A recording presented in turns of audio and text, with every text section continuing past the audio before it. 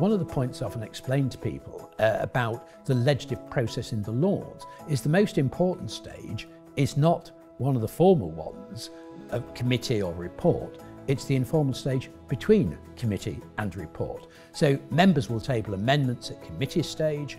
Government may say, well, there may be a point there, but you know, not well drafted, or we'll think about it if you withdraw it. Member withdraws it, then the minister with uh, his or her officials sees the peer to discuss it, to see whether there's a, a, a, the government could draft an amendment that meets the point that's been raised because the minister sees the argument. And so at report stage, we get lots of amendments, which are actually government amendments, but originate from points raised by peers earlier.